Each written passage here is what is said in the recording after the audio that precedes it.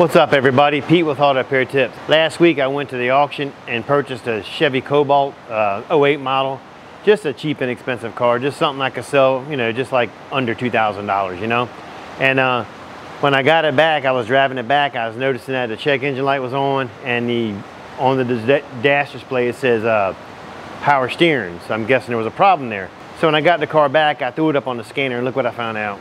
A P0575, a 1682, a 0073, a 0101, a 0140. Most of them are like lost communication, lost communication. The switch failed. That was something I had set doing a, looking at something. And a cruise control failed. So the first thing I decided to do was because of the loss of the communication, I went ahead and hooked a breakout box to it and I wanted to check the data lines just to make sure that everything was communicating correctly. Look what I found out. So if you look right here, we're on pin 14. That's the low can. It's 4.4. That should be like 2.3, 2.8, 2.7, somewhere around there. Pin 6 is your high. Let's see what the high is.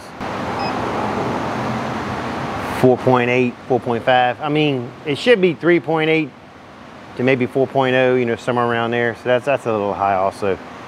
But the one that concerns me the most is the low. So let's go back to 14.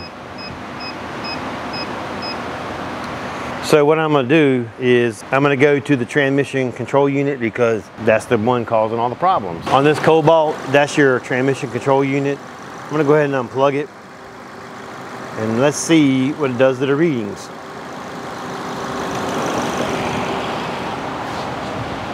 So it immediately dropped it down to 2.5. Let's check out pin six and let's see what that does.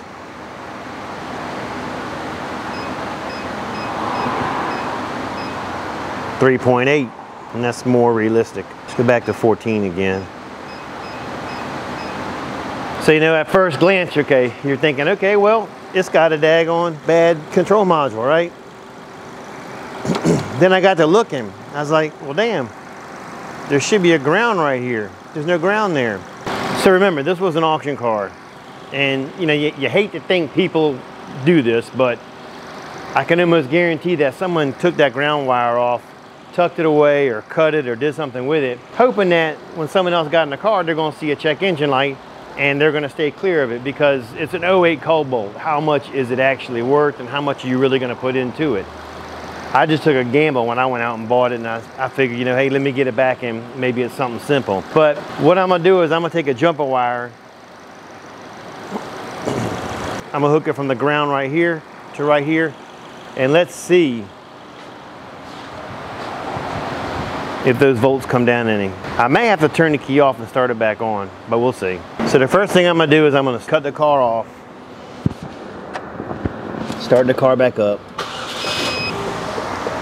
All right, the readings are at 4.5 because that's more realistic of what's been going on. When I unplugged it, it made it jump up to 8 something. So let's hook up this ground wire and let's see what happens to that reading. Ah, look at that, 2.9 settling in 2.8 let's unplug that ground wire. 4.6 I bet you that word power steering goes away too off check this out. So right now it says low fuel and switches to power steering.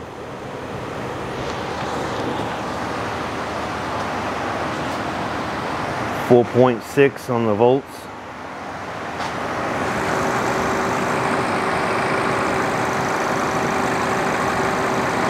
Hook the ground here. Got it hooked right here.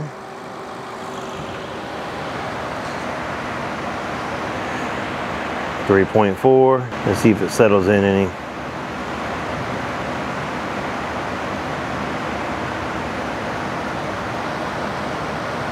adjust that ground some.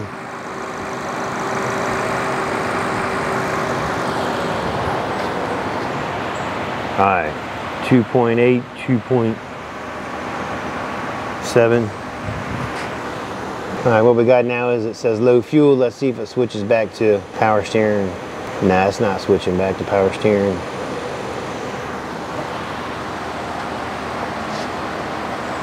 And we're sitting at 2.8. So I'm not even gonna bother to look for the old ground wire.